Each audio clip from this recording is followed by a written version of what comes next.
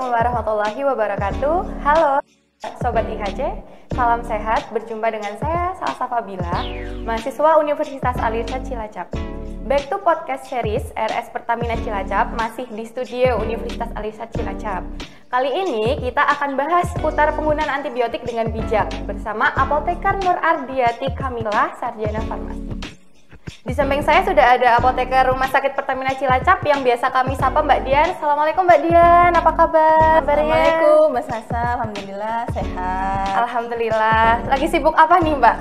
Sibuk biasa, pelayanan ke pasien. Oh iya, pelayanan ke pasien ya. Kita ini ya, oh, before after ini, before ini after semoga ya. Amin. Oke ini uh, ngomong-ngomong kita mau bahas antibiotik nih Mbak pada kesempatan ini Mbak akan akan menjelaskan kepada kita semua mengenai penggunaan antibiotik. Mungkin boleh dijelaskan terlebih dahulu nih Mbak pengertian antibiotik itu apa sih? Gitu. Oke, makasih Mbak Oke, oke. Jadi antibiotik itu adalah satu senyawa yang dia fungsinya untuk membunuh bakteri. Ingat ya, bakteri. Iya. Jadi di sini bukan digunakan untuk dia membunuh virus ataupun membunuh jamur. Oke Mbak, kan bakteri ya Mbak ya Bu virus atau jamur. Hmm. Tapi kan teman-teman itu taunya oh ya udah semua sakit itu pasti bakteri nih. Hmm. Mungkin bisa disebutin Mbak kayak penyakit apa yang hmm. disebabkan oleh bakteri gitu. Hmm. Kalau misalkan yang disebabkan oleh bakteri, hmm. misalkan pneumonia, oh, oh yang iya. sering kalau misalkan itu sesak, batuk hmm. gitu ya. Kemudian diare juga ada yang dia karena bakteri, tapi yang diare dia sampai berlendir, berdarah itu karena bakteri. Contohnya, sangat contohnya adalah itu. Oke, tapi beda ya Mbak sama yang jamur ataupun beda. yang virus gitu ya. Jadi kalau misalkan antibiotik khusus bakteri aja nih Mbak ya. Iya. Oke, betul. Uh, mungkin si antibiotik tadi ya, virus atau bakteri, apakah setiap sakit itu harus minum antibiotik? Yang kita tahu nih, masyarakat kan setiap sakit tuh aku harus minum antibiotik nih. Apakah tiap sakit tuh harus pakai antibiotik? Nah, ini yang kadang sering di masyarakat sering keliru ya. Iya. Nah, nggak boleh, nggak boleh setiap sakit itu kita minum antibiotik, Mbak Sasa. Jadi memang kalau misalkan kita sakit, hmm. itu baiknya kan kita memang uh, berobat ke dokter biar nanti tahu misalkan penyakit kita apa, diresepkan obatnya apa. Jadi nggak semua sakit itu menggunakan antibiotik. Kalau misalkan nanti setiap sakit menggunakan antibiotik, itu nanti resikonya adalah bisa meningkatkan terjadinya kasus resistensi antibiotik adanya resistensi antibiotik. Mungkin masyarakat di luar sana itu tahu nih resistensi apa ya gitu baca di berita mungkin atau menemukan. Mungkin bisa dijelaskan nih Mbak pengertian dari resistensi antibiotik dan penyebabnya itu apa? Oke. Okay. Jadi resistensi antibiotik adalah kondisi di mana tubuh kita itu kebal dengan oh, antibiotik yang diberikan. Jadi si bakteri dalam tubuh kita kalau misalkan kita mengalami sakit, kita berikan antibiotik, dia kebal. Jadi gejala yang dialami pasien itu tidak mengalami perbaikan seperti itu Mbak Sasa. Nah, kemudian untuk penyebabnya, penyebab yang dia bisa menyebabkan terjadinya resistensi itu yang pertama adalah penggunaan antibiotik yang tidak tepat indikasi. Nih, kadang kadang sering nih penggunaan antibiotik yang tidak tepat indikasi. Contohnya misalkan dia baru kena flu sehari oh, dua hari sudah langsung mengkonsumsi antibiotik. Padahal saya tahu ya flu itu iya. disebabkan karena hmm. apa? Karena virus, virus bukan uh. karena bakteri. Jadi seperti itu. Kemudian nggak tepat indikasi lagi luka sedikit aja. Misalkan yeah. hanya tersayat misalkan kena misalkan peso sedikit langsung dia minum antibiotik. Luka kecil dia langsung minum antibiotik. Nah itu yang pertama. Penyebab -hmm. pertama adalah penggunaan antibiotik yang tidak tepat indikasi. Kemudian yang selanjutnya adalah penggunaan antibiotik yang tidak tuntas atau tidak habis. Ini sering ya, ini pasti sering terjadi di masyarakat. Dulu pun ketika misalkan saya dulu belum farmasi, sekolah farmasi, kalau dulu waktu kecil itu kalau misalnya penggunaan antibiotik sudah merasa gejala sembuh, selesai tadi minum. Nah, ini yang tidak boleh dilakukan. Nanti dia bisa menyebabkan terjadinya resistensi antibiotik. Jadi kalau misalkan menggunakan antibiotik diminum walaupun gejala yang dirasakan sudah sembuh, harus antibiotiknya tetap dihabiskan. Itu penyebab yang kedua ya, penggunaan antibiotik yang tidak tuntas. Selanjutnya, penggunaan antibiotik yang tidak tepat dosis atau tidak tepat aturan waktu. Nah, oh. ini harus diperhatikan juga. Misalkan tidak tepat dosis. Jadi kadang dosis antara orang yang satu dengan orang yang lain itu beda dosis antara pasien anak dengan pasien dewasa itu juga berbeda, nah jadi ini yang harus diperhatikan kemudian waktu penggunaan antibiotik juga nih ini yang kadang di masyarakat juga sering keliru nih misalkan tiga kali sehari harusnya kan tiga kali sehari itu kan tiap 8 jam ya nah kadang uh, kadang masyarakat itu tiga kali sehari itu yang penting dia minum pagi siang, malam. malam.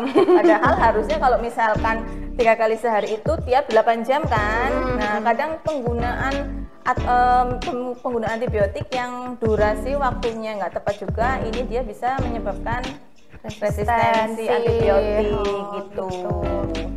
Berarti uh, ini juga pesen ya buat sobat-sobat kita di luar sana ini. Nggak bisa nih sembarangan jangan dikit-dikit. Aduh aku panas harus antibiotik. Aku demam nih. Harus antibiotik itu nggak bisa ya mbak ya. Terus uh, untuk kita menanggapi nih mbak uh, banyak masyarakat yang suami medikasi atau pengertiannya tuh kayak dia tuh pengen terapi sendiri. Oh aku harus beli uh, kita sebut ini ya senyawanya amoxilin yang hmm. famous ya mbak ya. Mas aku mau beli amoxilin nih aku panas nih. Itu gimana tanggapan mbak itu tuh seputar itu? Uh -uh. kalau misalkan yang seperti itu nggak boleh ya? Ya kalau misalkan pembelian antibiotik mandiri suami dikasih itu nggak boleh. Jadi penggunaan antibiotik itu memang harus berdasarkan resep dokter. Karena belum tentu juga dia langsung membeli amoxilin apakah antibiotik yang dia beli itu tepat sesuai dengan bakteri yang memang dia menginfeksi si pasien itu? Kayak gitu. Belum tentu antibiotik yang dia langsung beli iya, itu sesuai. Sesuai. Ya itu tadi ya tepat indikasi tepat dosis dan tepat waktu ya mbak ya itu. Betul. itu kan berarti cara ngitungnya mungkin ya mbak ya itu kan berarti 24 jam. Ketika dia dapat dua kali satu tablet sehari berarti kan per 12 jam. Ya, betul. Nah, itu kadang kan orang-orang yang oh aku pagi udah jam 7 terus siang bila jam 12 padahal kan 7 tambah 8 harusnya di jam 15 kan atau jam 3 sore ya Mbak seperti itu. Yes. Oh, uh, ini tadi kan sudah dibahas seputar resistensi antibiotik, udah dijelaskan juga penyebabnya apa, terus bagaimana terjadinya seperti itu kan Mbak. Uh, mungkin sekarang bisa dijelaskan nih Mbak bagaimana penggunaan antibiotik yang benar, tepat gitu ya seperti apa Mbak? Monggo. Okay penggunaan antibiotik yang benar itu tepatnya adalah bijak. Ada jembatan kuliner bijak menggunakan antibiotik. Yang pertama bijak itu yang pertama B-nya adalah beli atau kita dapatkan antibiotik itu sesuai dengan resep dokter harus sesuai dengan resep dokter di apotek ataupun di rumah sakit. Jadi nggak boleh beli sembarangan antibiotik ya. Itu eh, yang pertama beli.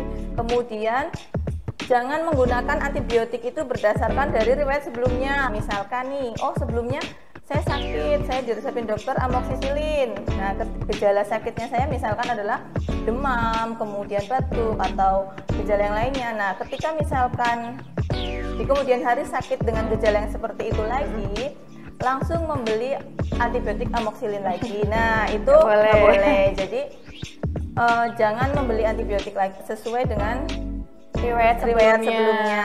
Yang kedua adalah I. I, B, I itu adalah ikuti petunjuk penggunaan antibiotik ataupun petunjuk penggunaan resep dari dokter. Hmm. Misalkan dokter itu meresepkannya dua kali sehari, jadi digunakan adalah tiap 12 jam, tiga oh, kali sehari, iya. tiap 8 jam. Dan habiskan antibiotik walaupun gejala sakitnya itu sudah tidak ada. Jadi antibiotik harus digunakan sampai tuntas. Kemudian yang terakhir adalah eh yang ketiga adalah J. Maaf.